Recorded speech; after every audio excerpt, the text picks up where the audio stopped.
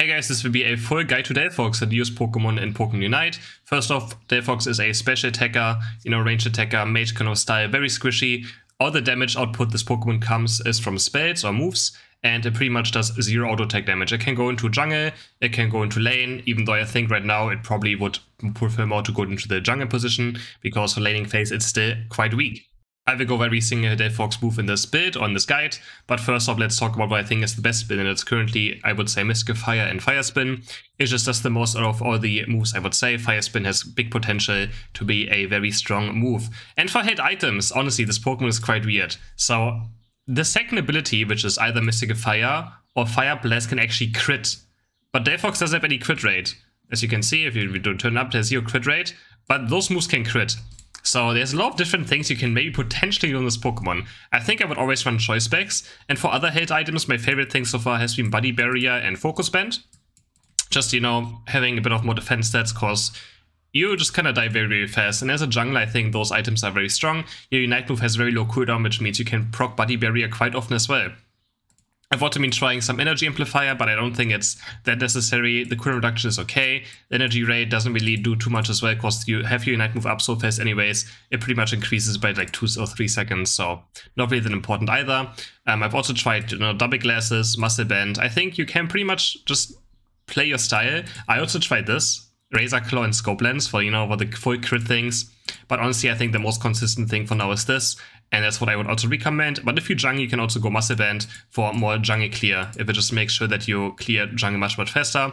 And for one defensive items, I would always play Buddy Barrier or Focus Band. And for battle item, I think Eject Button is probably the best you can run. There's also, I guess you could also play something like this. This could also be totally fine. And I think that has to be figured out a bit more. But yeah, I think this is just the most consistent. If you want to just live and do consistent damage output, then this is probably the way to go. For the basic attack, we pretty much have nothing. It's just absolutely nothing. It does very low damage. Boosted auto attack only does a bit of bonus damage as well. And you can see the auto attack is pretty much just very, very bad. Um, then we have Will-O-Wisp and Ember. Ember is just a straight up skill shot that flies into one direction and it only does damage. And it can be buddy blocked, so it can it can't pierce, it only hits one Pokemon. It does pretty good early game damage. If you play lane, this will probably be your last hitting tool, but again, it can be buddy blocked. So, you know, if, if there's a Blissey or Wigglytuff staying in front of your AR Dino, then you will not be able to do it. And then you have to use Will-O-Wisp, which is similar to Swift on Eevee of the Espeon one, where you shoot out three flames in direction onto like a circle and if you hit the flames onto someone and then the circle as well, it explodes one more time and does a bit of extra damage. So pretty much can do two times if you so if you miss the circle, um, it will only do the flame damage. But if they're in the circle, then they will also take explosion damage. But they have to get hit by the flames as well. So if you do it like this, they only take explosion damage and they don't take, you know, the flame damage. Delphox's passive is also kind of weird. So if you drop under half HP, your next move will do bonus damage. So right here, if I do it, you can see that thing. You saw that blaze, right, flying to that small flame. It has a 15 second cooldown. You can see it right here. And yeah, so it's just, it's. I feel like all these are kind of weird. As you have to drop under half HP for this to happen. And once this recharges, you can do it again if you're under half HP, and it's gonna happen again. On level 6, when we fully evolve to Delphox, we get to choose between Mystic Fire and Fire Blast. Mystic Fire is very similar to Ember. It's just a long range skill shot that explodes in the end though, so it can do AoE damage at the end. This entire explosion will hit targets, but it doesn't pierce. So you can see it doesn't pierce if it hit the first target hit. Um, but again, it does AoE damage, so on beasts it's actually quite nice. If they spawn here, we can Ember, we can Mystic Fire them, and they all take damage in that cone around the first target hit. On 11, we pick up Mystic Fire Plus, and this is what makes Mystic Fire so strong. It reduces cooldowns on hit, so after hitting something, you can see the cooldown gets reduced by 1.5 seconds if you hit an enemy Pokemon. On white Pokemon it says, they can see it, it's only 1 second, but on any Pokemon it's 1.5. And it also reduces the skill of, or the cooldown of your other moves. So we Fire Spin, use a Mystic Fire, and you can see my Fire Spin reduces. Can do another Mystic Fire, and we have another Fire Spin ready. And this is where, like, you know, the Pokemon start shining. You always want to be level 11 as fast as possible. And I just want to show you guys something. As I mentioned, Mystic Fire and Fire Blast can crit, but Fire Blast has 2 over cooldown, so it makes no sense to play it. Here we have 8.1% crit chance now with Razor Claw and Scope Lens. I'm just going to show you guys how often it happens. So, obviously I have cooldowns out right now, and I really don't think it's worth it. I think some people like do like it, but you can see how often I use Mystic a Fire right now, and hasn't happened. I actually counted yesterday once as well. It happened three times in one game. I, that was the first crit. It's oh there we hit a second crit. I mean it's insane RNG and you know something like Crusher at least he has like three chances of getting the crit thing out as well. Um, so the chance of you actually critting are so so low. It's very hilarious though. Seeing someone like get crit for 3600 damage is absolutely hilarious. But I really can't say if this is a viable build. Maybe if you Night Move and Fire Spin will crit as well, it could be fine. But I just want to show you guys how high the chances of you to crit. I mean, it's 8.1%. It's super, super low, right? But it can happen. And if it happens, it's very hilarious, especially with the Fire Spin as well. That gives you extra damage on the Fire Spin. But yeah, I'm not sure if I can recommend it. If you guys want to have very hilarious moments, I can. But otherwise, I think other items are just a bit more consistent. Another level 6 move we have is Fire Blast. Another long-range skill shot. Pretty similar to Mystical Fire, but this one is fully AoE. It's gonna throw this wave, and after time it explodes and does some bonus damage. And that's pretty much all it does. It gives you a bit more burst, so if you can, uh, if you you know do it with fire spin, do a bit more burst. But besides that, it just lacks that cooldown reduction that Mystical Fire can offer. Alternatively, we pick up Fire Blast Plus, which is just more damage. So right now, you can see our damage, 2075, and then we pick our plus thing. But yeah, it just increases damage of Fire Blast, that's all it does. And now we do 2288, so not too amazing. Number 7, we pick up Fire Spin or Flame Charge. First, I'm going to talk about Fire Spin since the main bit I wanted to talk about. And it's you put down a AoE circle, a tornado, and it's going to chase towards the first target it locks onto. And upon reaching the target with the you know the submitted thing, you can see the middle Pokeball there. It's gonna whir them up and stun them. Of course, you can also cast it instantly onto opponents like this, and it's instantly gonna stun them.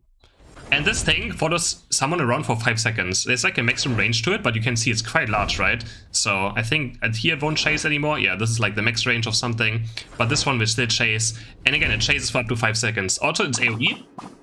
It will lock onto one target, but everything around it will also be fire spin. So right here, you can see everything around it. It looks a bit weird, but everything around this gets, around the main target that actually it focused on, gets completely whirled around as well. Just right next to the main target. It's hitting. So makes a very good CC in team fights. Obviously want to try to stay hit as many people as possible. But you're going to make sure you know who's the main target is for your abilities you know, kind of follow up onto it. On level 30, you pick up Fire Spin Plus, which just makes people take more damage uh, as soon as they're controlled. So while they're stunned, you do more damage to them. If they're not stunned, you don't do more damage. Right here, you can see 2100, uh, 2000 damage. We Fire Spin, and now it's again, not 2000 because they were not CC'd. So they have to be actually CC'd. So right here, bam, 2400 damage or 2300 damage. So yeah, they have to be, you know, when you see that those stars above the head for the confusion image, um, they will take extra damage from you during this time. The other level 7 ability is Flame Charge, pretty similar to like Mystical Fire on Sylveon, or what it's stored power, I guess, but not really stored power on Espeon, so quite close. You jump into direction, you spawn three flames under you and they're gonna seek out the first target hit. Very straightforward, and the second and third flame are only gonna do 70% damage. What's kind of weird about this move is that if your enemy is not close, you don't get those flames. So you actually have to be in range or proximity, right? Even right here. Okay, this is actually this is exactly the range, but if you do it a bit too far away, we're not gonna get those flames. But yeah, it's a small dash. You're gonna only summon those flames if an enemy is close, and then it's gonna seek out that first target. It hits. So it does have pretty good mobility, as I will also show later on with Mystic Fire. Besides that, it is pretty lackluster, does not a lot of damage, but it gives, you know, it gives this Pokemon that does have mobility some mobility and being able to kite. And again, it has very good synergy with Mystic Fire, which I will show a bit later. Flame Charge Plus gives us a bit of move speed after the end of Flame Charge, which is quite nice. It also makes this Pokemon even look more funnier. It's like it's running, it's running to get you. Um, but yeah, we just get a bit of move speed after Flame Charge, and that's pretty much all it does. But it's pretty good. It gives even more mobility, even more chance to kite, more chance to chase as well. On level 9, we pick up the Unite move, and this Unite move is actually quite, quite strong. It's a huge AoE circle that you lay down. It's gonna see damage over time, and reduces HP recovery of anyone hit by this by 50%, so anything that has like self-sustain, like Blissey, Trevenant, Focus Bands, even taking berries, being under a goal, all those gets reduced. And it has the lowest cooldown in the entire game at 84 seconds, so the lowest before were like Pikachu at 89, but this one is now the lowest in the entire game at 84 seconds, and it lasts for quite a while.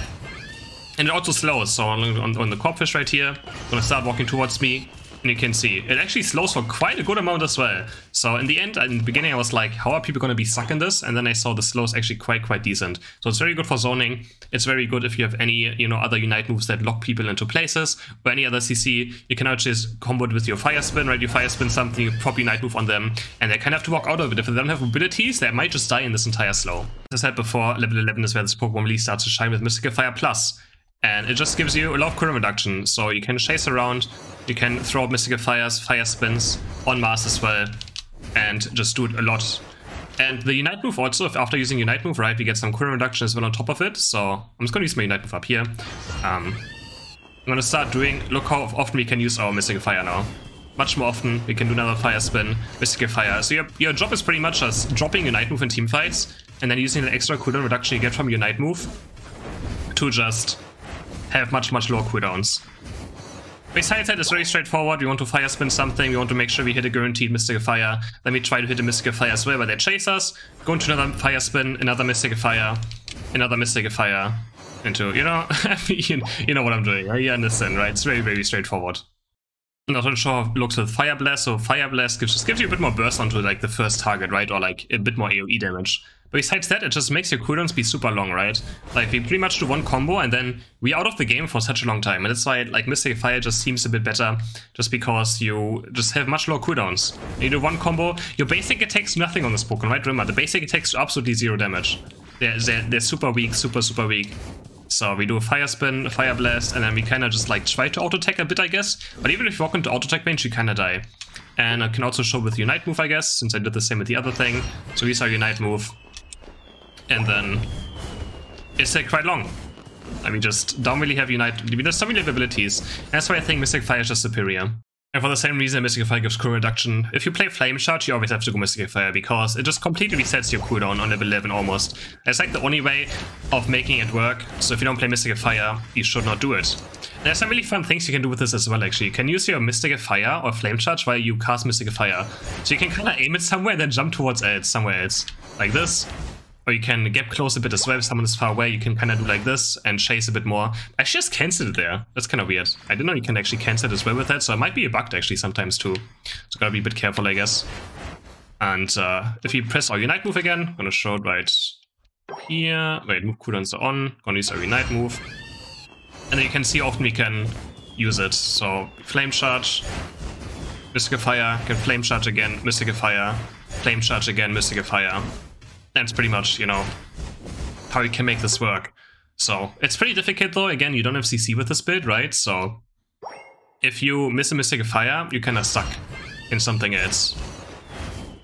But yeah, it's, it's a very fun build, and again, I made a video about it as well, right? It's very, very fun. Also make sure you always use your Flame Charge before Mystic Fire, of course. Otherwise, they will be on a cooldown. But yeah, can use it at the same time, which looks kind of hilarious. Looks pretty hilarious. I, let's, let me let me try something. Can you also do like, yeah, you can you can gain love distance with this. Not really useful.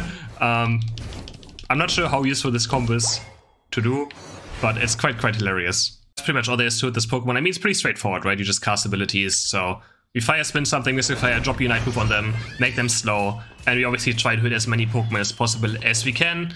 Obviously, I'm gonna I will always go by gameplay in a second, and I will show you guys, you know, how it looks in an actual game. Let's jump into some gameplay, as I mentioned, and we will be jungling. So I'm going to show you guys how this Pokemon feels and looks like in jungle. It has, the clear is pretty fine, it does take quite a while. Again, if you want to be a bit faster, you can run Muscle Band in this game. I did not have Muscle Band. So I'm going to start clearing this. And yeah, it's going to take a bit. We also want to clear maybe the Lillipup a bit later, because we can get level 4 for the red buff. So don't want to clear these things too fast. Right now I'm not level 4. That's exactly what I meant. So I'm always wait a bit, like try to kill the Lillipup maybe at 45 if you can, or wait a bit long on the blue buff, because then you can clear red buff a bit faster. It doesn't really change much, but we could be level 4 already, pretty much after killing the Lillipup. And the buff, since we are a, you know, level 4 evolution Pokemon, it happens quite fast, and we do get level 4 from those two together. Looking for our first gank now. Our ganks are not the strongest. We have okay damage. The main part is just having red buff right, red buff. We just try to auto attack right here, blinking in for the red buff, have him slowed, and then we hit our Ember and Will-O-Wisp. So make sure they always red buff slowed first before you throw out your skill shots. There just miss it, but we get a nice 2k, 2 KO on the top side. Gonna look for a score now. Early game is not the strongest. I mean, it's quite okay. It has fine damage, but yeah, again, we don't have Muscle Band. If you want to early game be a bit better, you can run Muscle Band. I'm gonna try and chase the Cinderace now. my auto attack just do no damage. He blinks away or goes away from my Will Wisp, and I just have to hit an Ember. If I don't hit an Ember there, I'm pretty much actually dead because my auto attacks don't kill it. My buffs are respawning already, so I go in for the Cinderace kill over the Beast, I think, which obviously is uh, probably pretty correct. So, gotta wait for buffs to spawn. Now we already pick up the Mystical Fire on level 6. So now we start being a strong character. Level 7 is where we truly start shining with our Fire Spin. And then our Gank's actually quite strong as well. It's very easy to get kills with Fire Spin. It's, it's very straightforward to hit. And again, the fact that it chases someone around is quite, quite strong. Looking for some Corphishes here. Um, but again, you have to be very careful. You're very squishy.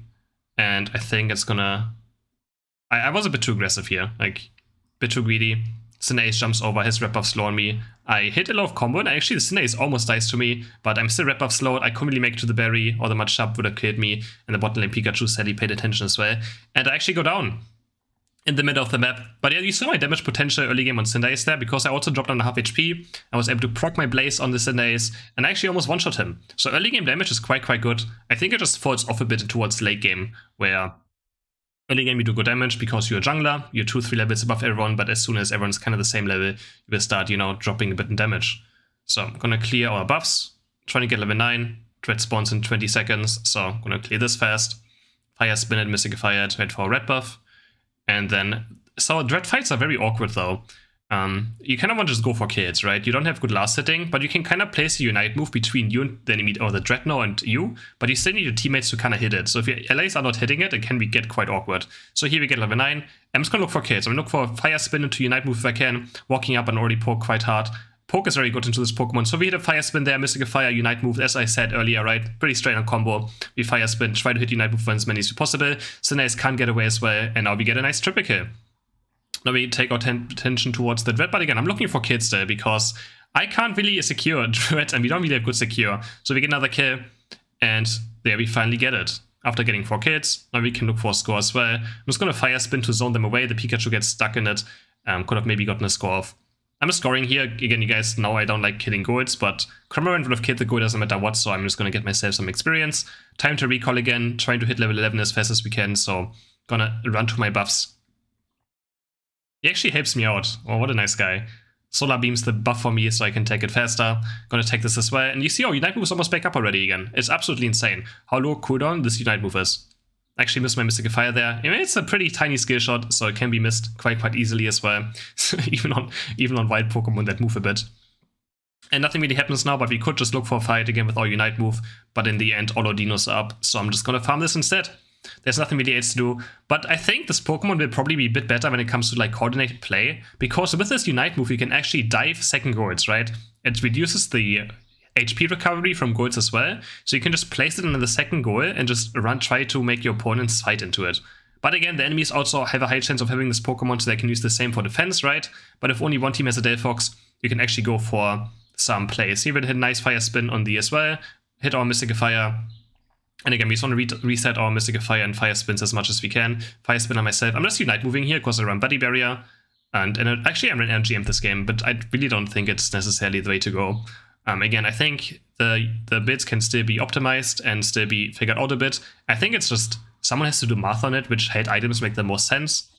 But in the end, I think most of those are fine. It's just a Pokemon that can run off different held items. Sally died to the Cinderace Unite there. Can't do much about it, just get ran down. We tried to live with the Mystic Fire and stuff and Fire Spin. But the Unite move speed was just a tiny bit too much. So yeah. Dread is spawning now. My Unite is almost back up. It's a 60%, so if I just farm a few things, I can actually get it quite fast. But then he's already got some kills there, so we really can't go for this Dread whatsoever anymore. So, uh, we can still go to bot to defend it, because after Dread they might just overextend and go for a push. So I'm just looking towards it. I need one more Corphish and my Unite move is pretty much back up. I should have went for it, but um, yeah, my Cramorant used Unite move, so I'm just going to look for a kill right here. Can't quite do it.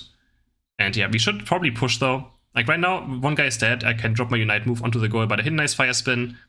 And now the enemy, there's the enemy, Fox Unite. I want to proc my Unite. It's actually quite messy, like, so your ones is a bit bluer and the enemy ones is a bit more violet. That's how you can tell which Unite move is from which side. And now I can see the kiting potential as well. Getting chased by two, I hit a very long Mystic Fire range. I use my Fire Spin a bit closer to me so that he has to run into it. Now we blink after him, Mystic Fire, eject button, another Fire Spin, another Mystic Fire. And we take down the Machamp. So it's very good at kiting opponents as well still if, if their opponents have their move speed or movement abilities out. Here again, we fire spin, Mystic Fire, Mystic Fire again, and this guy kind of has to run. I'm gonna start recalling now. And jump back to mid lane. Now we're just trying to form 14. So if enemies have their move movement ability gone, they are actually quite easily kiteable, especially melees, right? It just depends, like Machamp also has unstoppable effects. Of course, full heal. Full heal completely destroys Fire Spin. So if you play against any full heal characters, it can be quite, quite difficult to play. You just, they just press full heal or Safeguard Blissey is getting popular again just because of Fire Spin. There's a lot of people just running it just to mess with their foxes. So any unstoppable effects obviously completely counter this Pokemon. So if you still play against something like Water Spout, Rapid Spin, Blastoise as well, you absolutely have no chance. So another Mystical Fire. I'm just going to Unite move here because I can do it one more time. It's one minute left and this Unite is very low cooldown. So hit another nice Mystical, double Mystical Fire on it. And now the Machamp is on me. I try to kite them. I Fire Spin under myself so you get stuck in it. And we actually live on 1 HP. Mystical Fire, Mystical Fire again. Has very long range. We get a nice double KO, barely live on 1 HP. So between melee, just put Fire Spin between you, right? So they have to walk into it or otherwise they have to turn around as well a bit. Of course, you can also place it directly um, above them, but I think if they just run into it, it activates a bit faster, you know, because if you place on top of them, they're already walking, then it might has to chase, you know, it has to chase into the direction they're actually chasing us in, if that makes any sense what I'm saying. And uh, now we get 15 actually in this game, so we're quite, quite strong for, for this late game team fight. But late game team fights are super difficult. Like every every late game team fight, I struggle with this Pokemon. I think in this game, it went kind of well for us in the end, this this next team fight. But yeah, I think late game team fights positioning is super, super difficult on this Pokemon. You need good frontline, you need to have a support with you. Otherwise, you can't really walk up. Like, if anything just Unite moves you, you're just kind of in a bad position. So he's spotted the Pikachu, I'm going to try to Fire Spin him. Fire Spin is also very good to face check brushes, right? Or face check bushes. Because if, if someone is in there, you can see Fire Spin chasing someone. So you can always tell if someone's in a bush or not. So right here, I'm checking for someone. No one is in there, so it's going to go with the Corphish. They have still the Cinderace up, so there's the Cinderace, and I really didn't want the Zapdos to be flipped. And we actually get it. Like, I was looking for my opponents still, because we didn't really have good last hitting. I'm actually, no, we had a Dragonite, but yeah. You can never really trust solo queue Dragonites, doesn't matter what. Um, we lose Zapdos, but I find a nice Fire Spin, Mystical Fire here, and then meet Fox. And no panic yet, we just try to look for more kills. They can't really score if we just kill them, right? They can't make it to our goals. Another Fire Spin, getting chased by the Garchomp now, trying to dodge his things. Gonna fire spin him again, very far away, and we hit another nice Mystical Fire. Now Pikachu is looking for me as well, and I barely live. For now, I hit another nice long range Mystical Fire, another Mystical Fire, another double KO. So the range we get is quite, quite nice. Another Fire Spin, looking for the Mystical Fire, can't quite reach it. And now we're totally fine. Now we're actually winning.